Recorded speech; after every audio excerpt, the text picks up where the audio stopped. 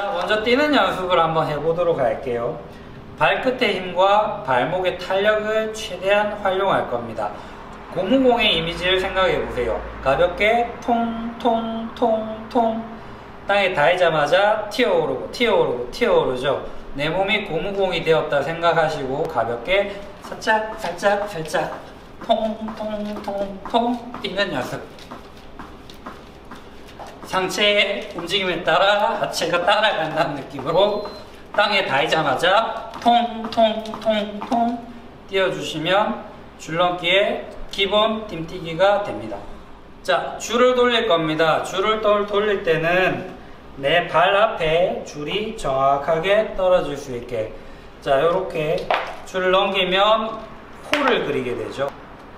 그려진 호가 내 발끝 앞에 정확하게 정확하게 떨어질 수 있도록 연습하셔야 돼요.